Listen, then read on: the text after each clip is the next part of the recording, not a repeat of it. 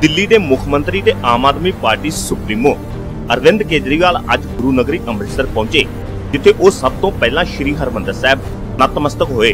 ਅਰਵਿੰਦ ਕੇਜਰੀਵਾਲ ਪੰਜਾਬ ਵਿਧਾਨ ਸਭਾ ਚੋਣਾਂ ਤੋਂ ਬਾਅਦ ਪਹਿਲੀ ਵਾਰ ਪੰਜਾਬ ਆਏ ਹਨ।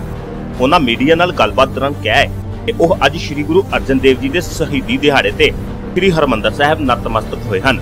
ਇਸ ਮੌਕੇ ਉਹਨਾਂ ਪੰਜਾਬ ਵਿੱਚ ਹੋਈ ਪਾਰਟੀ ਦੀ ਹਾਰ ਬਾਰੇ ਕਿਹਾ ਹੈ ਕਿ ਉਹ ਪਾਰਟੀ ਦੇ ਲੀਡਰਾਂ ਨਾਲ ਹਾਰ ਦੇ ਕਾਰਨਾਂ ਬਾਰੇ ਵੀ ਚਰਚਾ ਕਰਨਗੇ। का शहीदी दिवस है और उनके शहीदी पे हम लोग उन्हें नमन करते हैं। और इसी मौके पे आज मैं दरबार साहिब पे मत्था टेकने के लिए भी आया था और अरदास करने के लिए आया था कि पंजाब की खुशहाली के लिए पंजाब के लोगों के लिए देश के लोगों के लिए।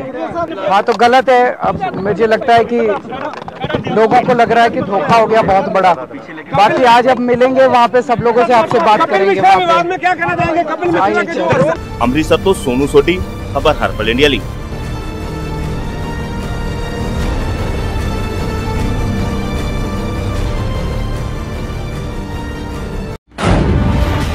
ਅਗਰ ਤੁਸੀਂ ਵੀ ਜੁੜਨਾ ਚਾਹੁੰਦੇ ਹੋ ਖਬਰ ਹਰਪਲ ਇੰਡੀਆ ਦੇ ਨਾਲ,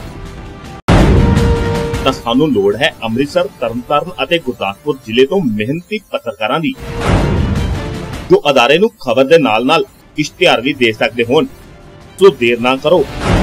ਤੇ ਹੁਣੇ ਸੰਪਰਕ ਕਰੋ 9988 6545 47 ਤੇ, ਜਾਂ ਤੁਸੀਂ ਸਾਡੀ ਈਮੇਲ ਤੇ ਆਪਣਾ ਬਾਇਓਡਾਟਾ ਵੀ ਭੇਜ ਸਕਦੇ ਹੋ।